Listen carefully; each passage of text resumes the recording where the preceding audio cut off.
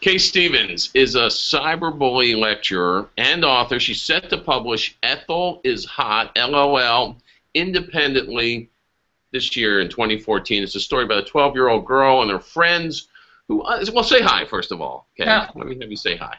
Hey there, how are you? Good. I'm so glad. I, I love to talk and help people learn more about cyberbullying. Um, so, but really quickly, we'll go into the book a little bit more. But, but what is the book about? well, you know, the book is about uh, one girl's experience, and I picked the middle grade age of 12 to 13, 14 because that's ten, that's a tendency when cyberbullying begins, and um, and I picked a, an all-girls school setting for this um, because girls um, statistically cyberbully more than boys do. So it's about a little girl who is kind of a nerd. She's kind of a um, transplant to the new school, and she's all right with herself. She's okay with her nerddom, but um, it, basically what happens is is in another girl in school starts to do this relation re- relational aggression kind of tactic, and they get into it, and um, and it just keeps mushrooming and, and gets bigger and bigger, and it's beyond anything that Ethel can actually handle emotionally. Uh, it's just uh, it's a school-wide smear campaign, is what it ends up being, and it's using all the latest tools. It's it's it's basically the the the tar- the perpetrator is this girl who wants kind of like the Kim Kardashian YouTube internet fame. And the way to go about it in her world is to make fun of Ethel and turn it into like a little uh, mini YouTube reality series so that it might get picked up in Hollywood. So, you know, uh, here's Ethel um, just trying to deal with school and everything and finding herself the butt of this um, entire smear campaign. And it's um, basically updated to 2013, 2014 all the kids have smartphones, all the kids have iPads, and in, in Maine, where we live and where the book is uh, set, is um, is is one of the only states that has ever uh, given all of its middle and high school students iPads and laptops. And uh, so here you have an entire generation of That's kids. in Maine, where you live. And, and, Yeah. I want to get into the book a little bit more, including the fact that you've you're funding this, you're publishing it independently, and you're Mhm. funding it through Kickstarter. But let, let me get back to to some of your as we might call your street cred. You you're Yeah. you've been very very involved in fighting the battle about cyberbullying. In fact, something very interesting that, that you told me before we started meeting here in this Google Hangout, Yeah. which is this has been going on. Cyberbullying is not something new. According to no. Yeah, no. I mean, uh, I started working with middle school girls in Maine around 2002 uh, in a technology online environment, and that was the origins of where I started to see what you call a digital pile-on, where girls all, uh, you know, gang up on one girl online. I mean, 10 years ago is when really cyberbullying started, in in my estimation. I started to see it, and I started to research it back then, and um, and in about 2006 and 2007, um, Megan Meier, a 13-year-old girl, was the first nationally known victim of a cyberbullying situation, and um, she was so horrendously harassed that she made the very fateful choice of taking her life at age 13. And it was because of Megan and because of other girls I'd worked with that I really started to begin researching, writing a book called Cyberslammed How to Understand, Prevent, Combat, and Transform the Six Most Common Cyberbullying Tactics, including the ones that were used on Megan Meier. And um, from then on, uh, we, we uh, my, co- my co author, Vinitha Nair, and I, who had worked in the technology online community for the middle school girls, she and I wrote the book. Uh, Time Warner Cable sponsored it, and we uh, published it under our imprint. And then most recently, the Indie Reader Discovery Awards gave it first prize in non- nonfiction in 2013. So, out of that big book for for parents, I started writing the young adult novel Ethel is Hot, LOL, which is the title of the website that demeans her, and that is really now geared towards the middle school girls. So Cyberslammed and Ethel go together as companion books at this point. What is it that, that parents are missing, that schools are missing? I mean, you know, I, I don't want to sound like an old guy, but I am, Mhm. which is, you know, why is this so much worse than what you know I had to put up with growing up in school? Right. You know, and and you know, I'm Generation X, and I've got one foot in the old school way of being traditionally bullied and understanding what's happening today. And I, I think just because so many parents of tweens and teens are Generation X or baby boomers who are grandparents taking care of kids, uh, this just was not what they grew up with. And uh, like you and I were talking about, the technology and the platforms that these kids are using pretty much changes every other couple months. So you're constantly trying to close the um, barn door once the horses have gotten out with the technology. But um, this is a real problem. I know for, for folks in Maine, because I've gone around and spoken to hundreds of parents and, and teachers and, and students in Maine last year, it's uh, it, it is such an amorphous concept to them. Uh, they, they, they think they know what cyberbullying is, but they really don't have a grasp on how to identify it. And moreover, they're having a real hard issue with uh, actually coming up with policies in the schools because sometimes the old school way of thinking is, hey, it's bullying. Everybody goes through it. I got through it when I was a kid and it made me stronger. You know, you need to go through it too, which is a really archaic way of actually approaching this. But but I think one of the points you're making though is that it, I mean it's kind of 24/7 now. I mean, yeah. if we were growing up, we had a yeah. bully. I mean, not to make light of it, I guess it was as advanced as it was for those days. Uh, but you know, we got a break. In these days, there's no yeah. break. If you're online, you, you know, and you're you're a victim, they can get you all day long. They get you all day long, and and one of the things I can't stand hearing from adults is, well, why don't they just shut off the computer? That'll stop cyberbullying right away. And it's so they're not getting it when they say that because you know 70% of uh, tweens and teens at this point have smartphones. I mean, have internet access on their iPads, their iPhones, their Xboxes, their laptops. Every device that a parent hands to them, they have internet access. And with that constant 24/7 internet access comes 24/7 uh, harassment. If somebody is out to get you, I call it a um, psychological warfare. You know, you don't just turn off the computer when there's psychological warfare coming at you. As a kid, you are absolutely overwhelmed. You're frightened. You're uh, you're paranoid.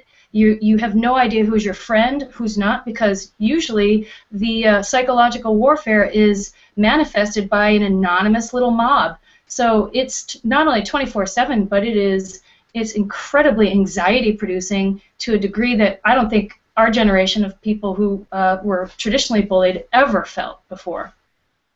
So what, okay, so what what what do we need to be looking out for as parents first? What what is it that we're missing besides the idea of okay, they can't shut off the, the computer? Well, I mean, I, I say treat every uh, device you give your kid like a chainsaw. You know, you wouldn't give your kid a chainsaw without teaching him how to use it or really training him how to use it. I mean, you know, kids over Christmas, I'm sure, got millions of new uh, technological toys. And the fact is, is you got to, as a parent, have the conversation with your kids about here's the ground rules. You know, here's the ground rules with communication because this is not about the technology it's all about the behavior no matter what device you have you know the, the ground rules are it, you will not treat somebody with disrespect you will not uh, use your device like a video camera to film somebody without their knowledge. Right, but as a parent you know we do this mm-hmm. and you know i i think what's the consequences what's the consequence consequence right I, I agree i agree yeah. but you know, I think it's you talk about too. this happening a lot more with, with girls than yeah. than boys. I have a teenage son, um, you know, and I think of him as a, as a good kid, but every once in a while, I'm even surprised at the message that doesn't get translated. You know, he thinks, oh, I don't have this app. It's fine, but if I go onto the website, uh, you know, no, mom and dad, I don't have the app. Right, right. But I'm right, able right. to access this via the, the website. You didn't say anything about a website. Yeah, you're vocalizing exactly a lot of the frustration I hear from parents too. Like a lot of parents who say, I, I have these conversations with my kids. We, we are talking about this. You know, why is this still happening? And again, um, it's it's a world that they're involved in, that they're living in, that you're not in. So it's so much easier to join up on something like Ask FM without the parents knowing about it, and then find themselves getting cyberbullied. And That's I mean, exactly the stuff I was talking about. Yeah. We've talked about Ask FM here, and yeah, and you don't need the app to see what's going on on Ask FM, and that's right. you know, and when they're done with Ask FM, I mean, it's just like you know, Facebook is so old hat, you know, to them. And now it's Instagram, and then Instagram, it's uh, it's Snapchat. I think they've Snapchat. moved on to. Yeah. and Yeah, you know, and you can't keep up with it as a parent. You can't keep up with it. Um, and again, I, I'm I'm just saying the conversation is about the behavior. It's you know, I mean, you wouldn't. And, and believe me, when I'm saying this, I'm not I'm not coming down on on parents because I know how frustrated they are and how overwhelmed they are by um, having to constantly monitor this kind of um, uh, behavior on on the uh, internet and their devices and stuff. I'm just saying, like everybody who hands, and I'm talking about parents who start with young kids, you know, 10, 11. You got to hand these kids the devices with a set of ground rules for everything, and then, and you know, the consequences are. The consequences are, you know, if if I hear back from you or from somebody else that you've um, used this in, in the wrong way, And then, you know, now we're going to talk about our own house consequences. But uh, but then you're also having to be very vigilant about are you getting cyberbullied by somebody else on your digital device? Will you tell me about it when it happens? You know, and a lot of kids won't even tell their parents because they have this sort of snitch code, and if if they go ahead and tell their parents, their biggest fear is that the parents are going to make it worse, or they're going to take the digital devices away, so they won't be able to monitor what's being said about them. Um, but you know, this is everything we talk about in CyberSlammed, and it's a it's a basic step-by-step manual for parents and teachers on how to approach this type of conversation that I'm talking to you about now, how to set up um, some ground rules, and how to actually teach your kids about the tactics so that they are the ones that can identify it before it happens to them and turns into a wildfire situation. yeah, the, the the is it the case sometimes that the kids don't even realize that they're being bullied? Is that Yeah, yeah. I think there's a lot of newbie kind of behavior that happens, and you know, geez, you know, you can just make a joke these days, and the internet culture, I think, is such such more of a vicious uh, and acoustic internet culture now than it was 10 years ago. I'll give you a great example. Uh, I was just looking at uh, Gawker.com, and a 13-year-old girl had just tweet tweeted something um, that was a joke. It was something to the effect of, "Wow, it's 2014 and the Earth is so beautiful. I can't believe it's 2014 years old." And she was right? just putting Yeah, it as a joke, and the internet went nuts. And uh, seriously, the culture got toxic fast, and people were telling her to go kill herself. You know, and so, it, what do you do with a takeaway from that? You know, it's I'm, I'm just nonplussed at how vicious people can be, and, and when how kids can inadvertently get themselves into some major hot water territory very fast without even thinking Is about it is it the anonymity too? Also that the that the kids, I mean, that beyond did they- they just don't feel that the kids who are bullying, they don't feel they're going they're going to be consequences, or is it? Absolutely. I mean, like, how many times have you uh, been on uh, CNN and uh, read a story and then clicked through all the comments and you see Oh, how the comment. The comments are the most dangerous place on the planet. Uh, do not read. You know, I mean, I, I read the comic, the comments for for enjoyment purposes, but I mean, it, the meanest, scariest, most destructive human beings on the planet are on the comment section. So I guess that's kind of a sense of what the kids are going through in terms of Yeah. bullying. That's Cyber- exactly like the comment section on any hot hot button story is exactly what Ask FM is to the kids. And you're right, it's it's what it is. It's the anonymity. It's a it's called the disinhibition effect. It's a psychological term of not being able to empathize with the target or um, feel that you're even doing anything wrong because you can't read their body language. You can't actually see the hurt that they're going through. It's a quick click and send, and you know, wipe your hands and you're done. And it's a it's a very destructive way of behaving and communicating, and we're all in this internet culture part of that. Every time we feel like you know responding to something snarky that somebody said online, that is that disinhibition effect.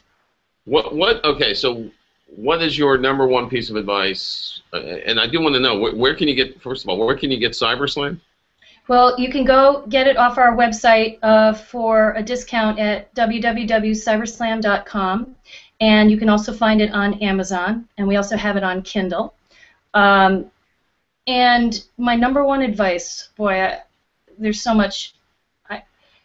See. You know what, Marc? It changes so much every day that I don't even have a number one advice right now. Um, I would say uh, follow our Facebook page, Cyberslammed on Facebook, because I'm constantly trying to find the latest updates and things to watch out for as parents. Like the first I heard of what's, Ask so what's the latest? I, I don't know if you can check your Facebook page Mm. right now or what. But what, is the num- What is the What's the latest thing that you've warned about, or what's something that we need to be, you know, Okay, this week yeah. we need to be. One, uh, two, two new tactics that I've seen crop up in just the year and a half uh, that the book has been published is um, a tactic called text bombing, where kids are using their uh, smartphones to uh, basically assault somebody else's phone with just tons of, of either vicious messages or nonsensical messages, or a mob will all text bomb one person, sort of like a digital pile-on and you know with the intent of harassing them 24/7 or breaking their phone by having too many text messages actually you know uh, uh, interfere with the platform. And the other tactic I've seen crop up quite a bit that's not in the book is called, or I'm calling it, a um, virtual burn book, and it's when a student uh, takes you know three or four or five, six, uh, usually girls pictures at their school, sets it up on a website, and invites everybody to come in and ridicule and slam them, um, and add comments to it, similar to Ask FM. Mm, Yeah. well, that. Uh. Yeah. Why is it? Why, why? Why girls more than guys? Well, I think boys definitely have uh, spots of, of, of cyberbullying, and it tends to happen more in gaming, like on Xbox when they're trying to um, uh, do virtual gaming with one another. Uh, but you know, girls, why do, do I have any statistics? Why I don't really have any statistics why they are the ones who cyberbully more, but girls tend to be more uh, verbal and, and more uh, relational in terms of using the technology uh, around their relationships and to form them and to uh, ostracize and you know exclude and things like that. Um, but you know, I'm, I'm being a little general there. I'm, I'm not saying that all girls are the ones who cyberbully. It's just there just t- tends to be a tendency around older girls who will uh, lash out with the technology they have in a relational way. It's all about the relationships. It's all about offline conflict that spurs this. Now, Ethel is hot. LOL. You, you, Yeah. You're funding through Kickstarter, which I find fascinating. What made you go that route? I I just thought that it would be kind of a cool way to uh, do a self-published project under the umbrella of CyberSlammed. Uh, we got funding from Time Warner Cable to do uh, CyberSlam, so I thought I'd just reach out to the bigger community at large and see if anybody had interest in crowdfunding uh, a novel about a, a girl who gets cyberbullied and have it be a cautionary tale. And when the book comes out, you know, give it to their daughters and have them use it maybe to talk about the tactics that happened in the book and kind of be more aware of it. It's a, it, it, it's it's definitely a it's like a middle grade novel, but there are some major messages in it that I think would benefit a lot of 12 year old girls getting into social media for the first time. So um, you're fully funded. Can I ask how much? Yeah, it was about um, 1200 to do, and I've decided just to uh, use the funds to uh, get it up on Kindle. So it's not going to be a physical book; it'll be a Kindle um, book off of uh, Amazon. And right now, I've got this. I've got the copywriter who is working on it, and I've got I'm working with the design uh, or co- the cover design next week. So I'm really moving forward with it. I'm really excited that that everybody was. Uh, I got it funded within the 30-day period, even over the goal, and I'm just really excited that people are, are loving the idea of it, and that you know it's going to be something that comes to fruition around uh, February is when we get it done. All right. Now you lecture around Maine, and you, Mhm. you have the books. Um, where can people find you? Where can people touch base with you? Oh, you, you can find me through cyberslam.com. That's that's really the hub of where to find everything that we're doing and all these resources that we have for parents, free resources for parents and schools. So go to cyberslam.com and you'll um, you know be part of our community. And, and like I said, I'm al- I'm constantly trying to find ways to help parents and help teachers um, and kind of like uh, just act like the bridge. And, and believe me, this is not my full time job. I I just do this out of a hobby. I do this um, on top of my full time job. So um, for me, this is just really. What's your full time job? I'm a arts and entertainment writer for a local Maine newspaper. Wow. Yeah. They have arts and entertainment in Maine? yep. It's not all about lobsters and lighthouses. hey, you're doing important work. Whether you, it sounds like it's probably full time either way, um, and uh, you know, continue to get the message out because this is such an important issue that the parents and kids have to deal with. So, Absolutely. Kay Stephens, thank you. Thank you so much, Marc, and thanks for letting me rant and rave and talk all over the place about this. Thank you very much. Uh, no, my pleasure.